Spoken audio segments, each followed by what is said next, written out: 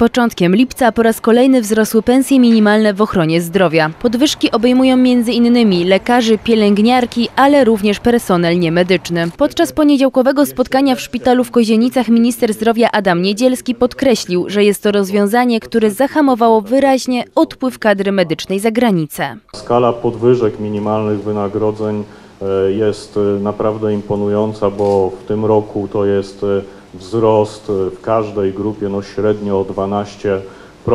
Jak patrzymy sobie na to, ile kwotowo wynoszą te podwyżki, to są to kwoty e, rzędu 700 do 1000 zł, w zależności oczywiście od grupy zawodowej, e, z którą mamy do czynienia. Z drugiej strony też no, powoduje, że jeżeli patrzymy sobie na różne sektory gospodarki w Polsce, to ja jako minister zdrowia jestem dumny z tego, że te wynagrodzenia najszybciej, bo tak podają statystyki GUS-u, rosną właśnie w systemie opieki zdrowotnej.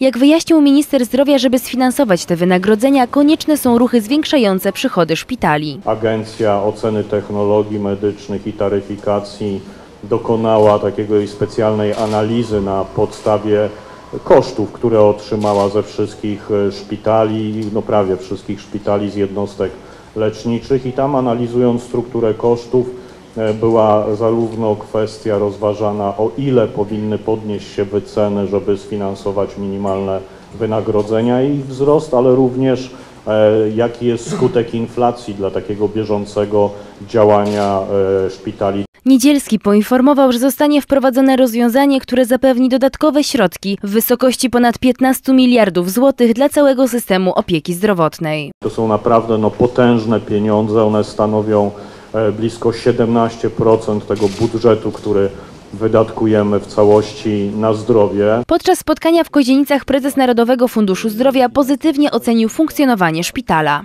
No, Ja się cieszę, że jesteśmy tutaj y, w Kozienicach, w szpitalu, który po prostu sięgnął, y, skorzystał z szansy, którą stworzyliśmy, bo przecież ten wzrost ryczałtu, który będzie w szpitalu kozienickim, wynika z tego, że był realizowany proces, do którego zachęcaliśmy, spłaty długu zdrowotnego, czyli wykonanie ryczałtu w pierwszym kwartale było na tyle wysokie, że będzie procentowało wzrostem finansowania szpitala przez y, cały rok. Jak podkreślił Roman Wysocki, szpital w Kozienicach od dawna korzysta z pomocy Ministerstwa Zdrowia. W sumie w ciągu ostatnich trzech lat zainwestowaliśmy 10 milionów złotych w zakup nowoczesnego sprzętu, co pozwala nam służyć y, w jak najlepszej sytuacji usługi medyczne. Przypomnijmy, w szpitalu w Kozienicach jest czynnych 11 oddziałów, w tym 5 zabiegowych.